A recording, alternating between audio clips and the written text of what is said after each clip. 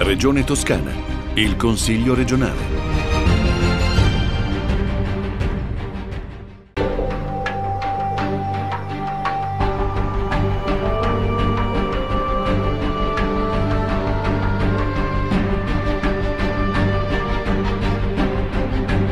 Il Consiglio regionale della Toscana ha inaugurato l'esposizione del Premio Firenze con opere d'arte della sezione Arti Visive per la 38esima edizione di questo evento che rimarrà aperto al pubblico fino al 10 febbraio. Una manifestazione ormai storica, importante e di livello internazionale, che ha visto coinvolti ben 133 artisti con 139 opere e 306 letterati con 349 lavori. Beh, è un premio che ormai è arrivata alla 38esima edizione che si è svolta a dicembre a Palazzo Vecchio nel Salone del 500 che è la sua sede tradizionale.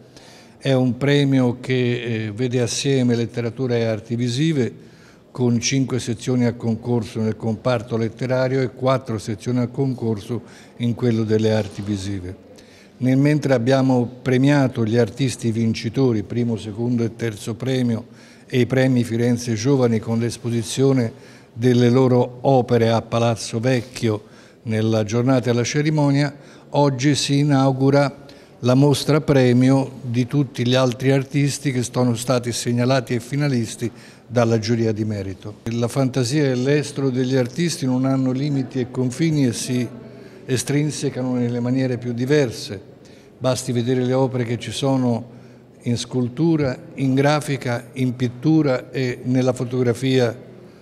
eh, che sono eh, qui eh, esposte. Altrettanto dicasi per quello che è stato per la letteratura e il comparto specifico con le opere nella poesia edita e inedita, nella saggistica edita, nella narrativa edita e nel racconto inedito. Il premio ha ormai valicato confini nazionali d'altro canto tra i patrocini che assomma c'è l'alto patronato del Parlamento europeo, quindi è una testimonianza del significato che ormai ha assunto in campo sovranazionale. La giuria intanto è una giuria piuttosto importante, qualificata, composta da otto membri. Le opere in concorso erano 139, quindi tantissime da per avere poi una selezione come questa di oggi, che sono una quarantina di artisti, non solo italiani ma anche dall'estero, da extra Europa. E il criterio di selezione è valutare un po' la ricerca che c'è dietro certi linguaggi delle arti visive, rispettando sia la tradizione sia le nuove metodologie. Premio Firenze da 38 edizioni eh, ci presenta una selezione dell'espressione artistica, culturale eh, nel nome di Firenze ma ormai vocata a, a parlare a tutto il mondo eh, che devo dire merita il sostegno delle istituzioni, non per niente sì, siamo qua e ospitiamo l'esposizione della sezione arti visive nella sede del Consiglio regionale della Toscana che da sempre appoggia e segue questo premio e eh, ne sostiene le iniziative e gli intenti, soprattutto in un tempo come questo della fine pandemia, speriamo post pandemia, nel quale è necessario sostenere la creatività, gli artisti, coloro che nella, nei diversi campi espressivi hanno cercato di dar voce a un disagio, alla sofferenza che è poi quella di molti nostri concittadini e concittadine. In occasione del giuramento del Presidente della Repubblica Sergio Mattarella, i grandi elettori della Toscana Antonio Mazzeo per la maggioranza e Marco Landi per la minoranza hanno partecipato al discorso di insediamento del Presidente della Repubblica. Ascoltiamo le loro parole appena usciti da Montecitorio. Mi sono davvero emozionato, emozionato nell'ascoltare un gigante perché il Presidente Mattarella con il suo discorso carico di politica, di buona politica, ma con un linguaggio linguaggio rivolto alle cittadine e ai cittadini, un linguaggio di speranza, di speranza dopo i terribili anni della pandemia, un messaggio che arriva forte al cuore di chi si è impegnato in prima linea, di chi soffre usando per ben 18 volte la parola dignità, dignità contro la violenza sulle donne, dignità per i giovani, dignità per il lavoro, un faro, un esempio per chi come me si impegna ogni giorno in politica ancora di più dopo aver ascoltato il suo discorso rivolto sia al Parlamento ma soprattutto alla Nazione. Sono fiero e orgoglioso di aver votato il nuovo Presidente della Repubblica Sergio Mattarella. Il giuramento del Presidente Mattarella è stato un momento ancora di grande onore, rappresentanza di tutte le toscane e i toscani. Eh, si conclude oggi la fase della proclamazione con il giuramento del nuovo Presidente di questo eh, settennato che ci vede eh, ancora in una fase di pandemia e sicuramente il discorso del Presidente Mattarella è stato molto applaudito ma anche molto toccante nel momento in cui ha ringraziato eh, proprio in questo momento storico che stiamo vivendo dal punto di vista eh, della sanità pandemico eh, ha ringraziato eh, tutti gli operatori sanitari, i volontari e le forze dell'ordine. Eh, sicuramente un discorso eh, molto completo, ha toccato tantissimi punti, eh, ha valorizzato la centralità del Parlamento, ma soprattutto ha dedicato, e questo mi ha colpito molto, eh, una buona parte eh, del suo discorso incentrandolo sulla necessità della riforma della giustizia eh, in Italia. Ehm, molti applausi, questi sono stati probabilmente i punti che eh, più mi hanno eh, toccato nel, nel, suo intervento, ma credo che da oggi eh, parte un, un, nuovo percorso anche della politica e sicuramente eh, la garanzia eh, del Presidente, di un Presidente della Repubblica come Mattarella eh, farà sì che anche le forze politiche che da qui a un anno andranno al voto sapranno far tesoro delle sue parole eh, incentrate ovviamente sull'unità del Paese e della nostra nazione.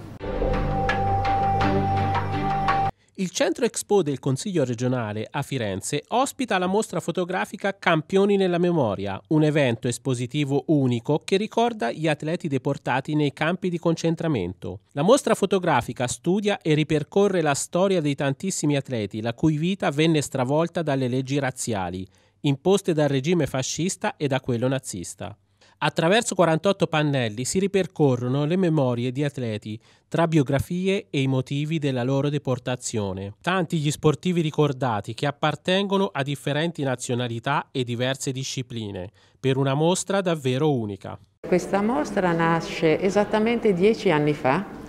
in seguito ad un articolo apparso su Sport Week, l'inserto della Gazzetta dello Sport nella quale veniva John Santoro, una giornalista, affrontava mh, mm, la vita di alcune atlete che negli anni 30 erano famose in Germania e dopo l'avvento del nazismo eh, i loro record e la loro storia era stata dimenticata. E mi sono incuriosita eh, essendo io un insegnante di educazione fisica, ho pensato che questo poteva essere un modo per avvicinare i ragazzi, quindi lo sport nei campi di concentramento, avvicinare i ragazzi alla tematica della, della memoria. E inizialmente mi sono concentrata su atleti di religione ebraica, poi dopo un viaggio a Dachau e sono venuta a conoscenza una mia carissima amica che è una delle guide storiche di Dachau, mi ha raccontato la storia di questo pugile Sinti Johnny Jacob Bamberger. E la scoperta che eh, Carlo Castellani, al quale è intitolato il, lo stadio di Empoli, è stato deportato a Gusen, ha fatto sì d'aprire i miei orizzonti e di non concentrarmi solamente sugli atleti di religione ebraica, ma su tutti quegli atleti che hanno visto compromessa la loro vita e le loro imprese sportive dalla tirannia nazifascista. E quindi eh, il materiale è stato cospicuo, alcune storie come il pugile Schmelling, il ciclista Richter, Bruno Neri, Bruno Scher, eh, atleti che non, per il taglio che volevo dare appunto non rientravano in quelli deportati nei campi, li ho dovuti accantonare, ma spero che in un prossimo futuro si possa ricordare ridare vita anche a questi atleti qua e l'anno successivo, il 13, eh, nel 2013, il 27 gennaio, la mostra è stata inaugurata nella mia scuola, nella scuola dove insegnavo a Scandici, sotto il patrocinio del comune di Scandici e per volere dell'attuale sindaco Sandro Fallani che ha creduto in questo progetto. Questa mostra poi ha girato per tutta l'Italia, devo dire, in eh, luoghi anche cioè, molto importanti, Marzabotto, l'Università Europea di Fiesole e poi eh, in tantissime scuole e quello era il nostro obiettivo, da, da Cosenza fino al Trentino. E in questo itinerario eh, a Bergamo e a Trieste la mostra è stata ampliata con nuove biografie eh, a cura a Bergamo dell'Istituto Storico della Resistenza di Bergamo e a Trieste del Museo Ebraico Carla e Wagner. Allegretti, Unione Nazionale Veterani e lo Sport, responsabile eventi culturali e ricerca. La Barbara Trevisan, cara amica, che mi ha preceduto nell'intervista, la definisco la madre naturale della mostra. Io ne sono il padre adottivo perché ho recuperato questa mostra a Scandicci, laddove insomma aveva, era, e l'ho messa in circolazione attraverso la catena delle sezioni dei veterani e lo sport, attraverso i comuni, attraverso le istituzioni culturali di qualsiasi tipo, l'ho messa in giro per l'Italia. E questo è un aspetto relativo alla mostra. La nostra azione non finisce lì perché, come vedrete dal catalogo, noi facciamo interventi presso le scuole e presso le scuole siamo dai 40 ai 50 interventi l'anno nonostante il Covid. Credo che lo sport, attraverso il suo linguaggio, attraverso la potenza del suo linguaggio, possa aiutare a raccontare anche fatti tragici come quelli avvenuti durante il periodo nazista. Io credo che lo sport eh, possa davvero aiutare, possa essere sempre palestra di vita e far crescere il nostro fisico e migliorarlo, ma anche eh, darci, trasmetterci quei valori e quelle qualità che sono fondamentali nella vita individuale e sociale. E poi c'è lo sport agonistico, dove emergono le eccellenze, ma dove si allenano anche a far crescere gli, gli uomini. Grazie alle donne, grazie davvero perché io penso che dopo un'estate incredibile per il nostro sport, oggi mandare questo messaggio che lo sport e la memoria possono stare insieme, che lo sport può raccontare attraverso le sue gesta quello che è stato, ma anche quello che non deve essere più. Infatti,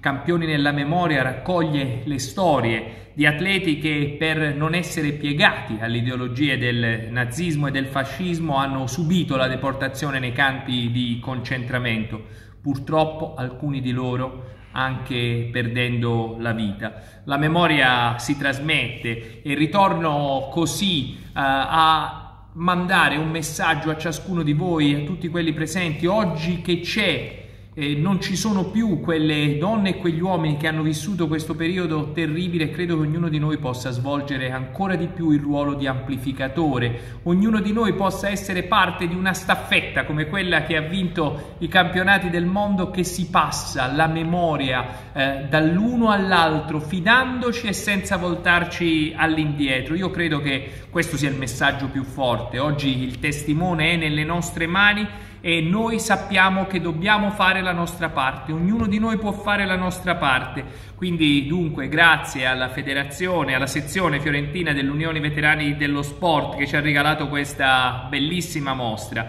grazie al comitato provinciale del CONI per averla supportata e prendiamoci un impegno. Tutti insieme continuiamo a tramandare eh, la memoria, perché quello che è accaduto non accada mai più e credo che ognuno di noi possa farlo, ognuno con la sua voce, ognuno con il suo sorriso, ognuno creando, come dire, una staffetta collettiva che arrivi in capo al mondo.